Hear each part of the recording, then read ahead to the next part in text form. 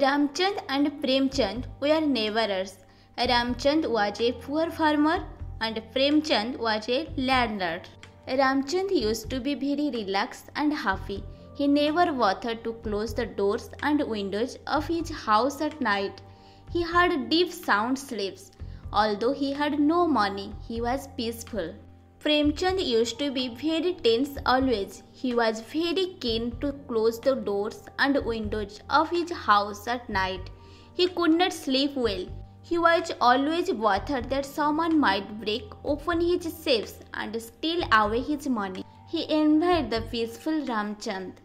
One day, Premchand called Ramchand and gave him a box full of cash, saying, Look, my dear friend, I am blessed with plenty of wealth. I find you in poverty.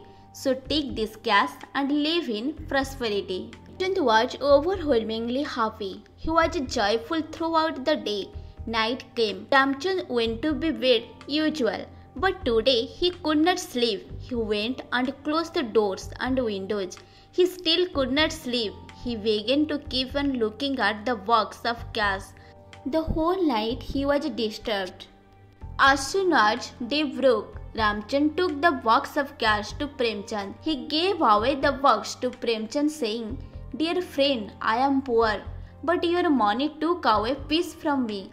Please bear with me and take back your money. Money cannot get everything. Learn to be satisfied with what you have and you will always be happy.